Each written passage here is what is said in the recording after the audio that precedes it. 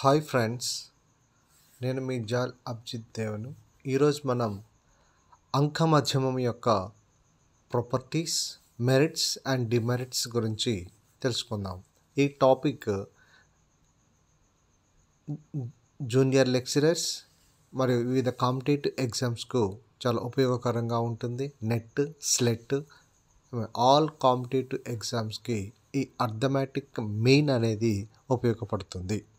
Arithmetic మెయిన్లో మనకి ప్రధానంగా మూడు రకాలు ఉంటాయి అర్థమెటిక్ మెయిన్ని మూడు రకాలుగా గణన చేయవచ్చు. Individual series discrete series continuous series the వ్యక్తిగత శ్రేణులు విచ్ఛిన్న శ్రేణులు మరియు అవిచ్ఛిన్న శ్రేణులు ఆర్ కంటిన్యూయస్ సిరీస్లో దీన్ని గణన చేయడానికి అవకాశం ఉంటుంది. వీటిలో మనం ప్రధానంగా ఏం చూద్దామంటే ప్రాబ్లమెటిక్ కాకుండా థీరీ పార్ట్లో చూద్దాం. అంక మధ్యమం అనగా సామాన్య మానవుడు సాధారణంగా ఉపయోగించే ఉపయోగిస్తున్నటువంటి పదాలలో సరాసరి లేదా సగటుకు గణాంక శాస్త్ర పరిభాషలో అంకమధ్యం అని అంటారు. జనరల్గా మనం ఉపయోగిస్తున్నటువంటి ఈ సరాసరి ఆర్ సగటు. దీన్ని ఉపయోగిస్తుంది మానవుని నిత్య జీవితంలో తరచుగా ఉపయోగించే average revenue average cost average marks సగటు రాబడి సగటు వ్యయము మరియు సగటు మార్కులు మొదలైన పదాలను అంకమధ్యమాన్ని గురించి ఉపయోగిస్తున్నట్లు భావించవలను. అంటే నిత్యము మనం చదువు ఉన్నా లేకపోయినా ఎవరైనా కానీ ఈ యావరేజ్ అనే పదాన్ని సగటు అనే పదాన్ని ఉపయోగిస్తూ ఉంటాము. మన గ్రాండ్ టోటల్ అయినప్పటికీ కూడా యావరేజ్ ఎంత వచ్చినది ఎలా ఉన్నది అనే దాన్ని చూస్తాము. ఈ అంక మాధ్యమాన్ని ఇంకా మనం ఈజీగా చెప్పాలి అంటే సగటు అధిక ఇది అత్యధికంగా ఉపయోగించబడి అతి ప్రాముఖ్యాన్ని వహించినది సాధారణంగా దీనిని అంకమధ్యమం లేదా సగటు అని కూడా అంటారు. అంక అంటే మధ్యమం అంటే మీన్ ఆర్ యావరేజ్ అని కూడా అంటారు. శ్రేణులలోని అంశాలన్నిటినీ గణన చేసి అంక మధ్యమమును కనుగొనడం జరుగుతుంది. అంటే ఇది శ్రేణులలో ఉన్న అంశాల మొత్తాన్ని అంశాల సంఖ్య చే భాగించగా వచ్చేదాన్ని. అంటే రాసుల మొత్తముపై రాసుల సంఖ్యను భాగించగా వచ్చేది అంక మధ్యము అని చెప్పేసి చెప్తా ఉంటాము. అంటే ఎవరే ఇక్కడ మెయిన్ అర్థమెటిక్ మెయిన్ని ఇంకేమంటాము? యావరేజ్ అని కూడా అంటూ ఉంటాము.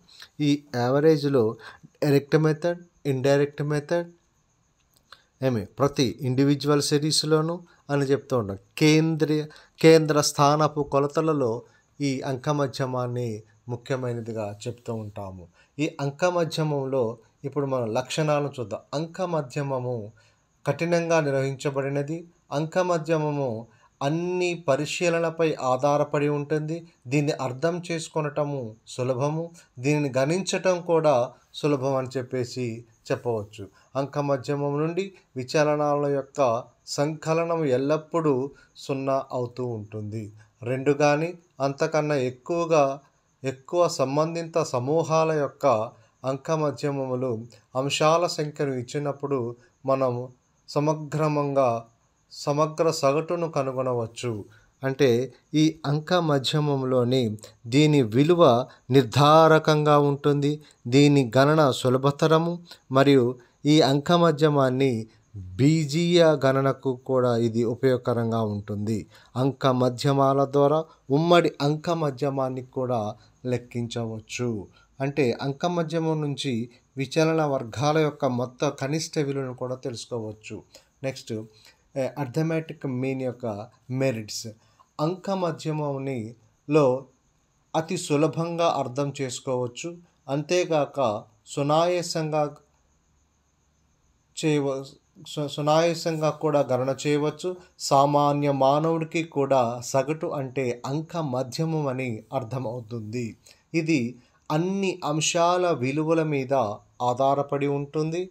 స్పష్టంగా ఖచ్చితంగాను నిర్వహించబడిన సగటు కాబట్టి పరిశోధకుడు అంటే రీసెర్చర్స్ పక్షపాత బుద్ధితో గణి ఘనత గణన చేసి నిష్పక్షపాత బుద్ధితో గణన చేసి ఇచ్చే అంక మధ్యమం ఒకటని చెప్పవచ్చు. అంటే వీటికున్నటువంటి మెరిట్లోని అంక మధ్యమం గణన చేసి చేసిన సగటు కాబట్టి తదుపరి గణిత విశ్లేషణకు అనువుగా ఉంటుంది. అంటే ఆల్రెడీ మనం దీన్ని మెజర్ చేస్తూ ఉంటాం కాబట్టి నెక్స్ట్ విశ్లేషణ చేయడానికి కూడా ఉపయోగపడుతుంది.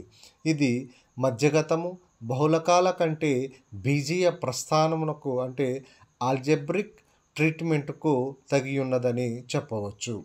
ఇది పాక్షికంగా నమ్మదగిన సగటు అని కూడా అంటాము. ఇది మధ్యస్థానంలో కేంద్రీకృతమయ్యే విలువ సెంటర్ ఆఫ్ గ్రావిటీ వాల్యూ అని కూడా దీనిని చెప్పవచ్చు. అంక మధ్యమం గణించిన విలువ క్యాల్కులేటెడ్ వాల్యూ అంతేగాని ఇది శ్రేణుల స్థితి అంటే పొజిషన్ పైన ఆధారపడినది కాదు అని కూడా చెప్పవచ్చు. అంటే ఏ పొజిషన్ కేంద్ర స్థానపు కొలతలలో అంక మధ్యమాన్ని అధిక మొత్తంలో ఉపయోగిస్తూ ఉంటాం. అంటే సెంటర్ టెండెన్సీలో ఈ అర్థమెటిక్ మీన్ని ఎక్కువగా యూజ్ చేస్తూ ఉంటామని చెప్పవచ్చు. నెక్స్ట్ శ్రేణుల్లో గల అనేక అంశాలను పరిశీలిస్తూ ఉంటాము. ఈ అంక మధ్యం యొక్క అంటే అర్థమెటిక్ మెయిన్ మెరిట్స్ డిమ్ లిమిటేషన్స్ ఆర్ డిమెరిట్స్ అని చెప్పేసి చెప్తాం. అంక మధ్యము అతి పెద్దది అతి చిన్న అంశాల వల్ల ఎక్కువగా ప్రభావితం అవుతూ ఉంటుంది. అంటే పెద్దవాటి విషయంలోనూ మరి చిన్నవాటి విషయంలోనూ అంటే అతి పెద్ద అతి చిన్న అంశాల వల్ల ఎక్కువగా ప్రభావితం అవుతుందని ఈ డిమెరిట్స్లో మనం చెప్తా ఉంటాం. అంక మధ్యం ఒక్కొక్కప్పుడు అసహజ ఫలితాలను కూడా ఇస్తుంది. అంటే వాస్తవమైనటువంటి ఫలితాలను కూడా ఇవ్వదు అని చెప్పేసి చెప్తూ ఉంటాము. ఇది అన్ని వేళల ఖచ్చితమైన సగటునివ్వదు. అంటే ఏ టైం ఆల్వేస్ ఇది యాక్చురేటెడ్ వాల్యూస్ని ఖచ్చితమైనటువంటి సమాచారాన్ని ఇవ్వదని చెప్తాను కేంద్ర స్థానపు కొలతలను కనుగొనడంలో ఇది ఎల్లప్పుడూ ఉపయోగకారి కాదు. అంటే సెంటర్ టెండెన్సీ మెజర్ చేసేటప్పుడు ఇది అంటే ఇది మీన్స్ అంకమధ్యమం ఉపయోగకారి కాదని చెప్